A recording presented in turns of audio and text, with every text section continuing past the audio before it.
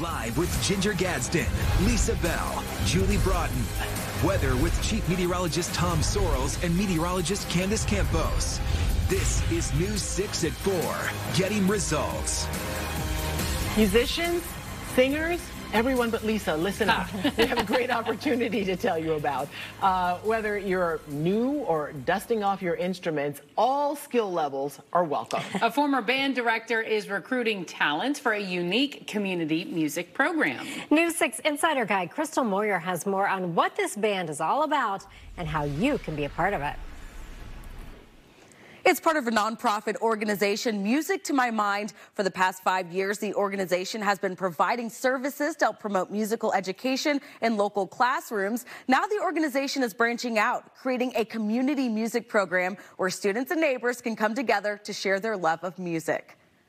Right now, we are in recruiting mode. So, if you play an instrument or you sing and want to be involved, the ultimate goal is to bring people together of all ages, of all levels, for the goal of making music.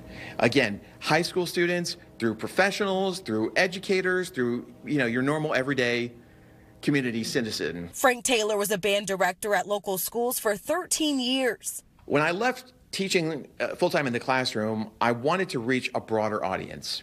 Partnering with the city of Apopka to launch its first community music program. We're going to be offering three ensembles a community choir, a community jazz band, and a community symphonic band. While practices will take place here at the Apopka Community Center, the music program is open to all Central Florida musicians and singers, whether you're a new musician or a little rusty. If there was a theme to all of this, it's putting unity in community. Taylor hopes the ensembles will get the full experience attending community events and performing throughout Central Florida, even honoring veterans. With this partnership, we will actually be forming the first official chapter of TAPS for Veterans in the entire country, and it'll be based right here in Central Florida. Um, veterans have always had a, very special place in my heart. I come from a military family.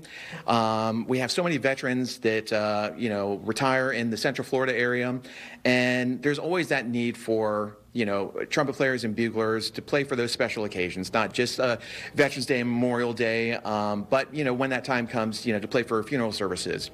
Rehearsals for the community music program begins March 13th. Practices will be Sunday evenings. For more information on the community music program and how to sign up, you can head to clickorlando.com slash insider. Taylor says there is a membership fee starting at 50 bucks, but if money is a problem, he says all you have to do is let him know and he will figure it out with you. Ladies.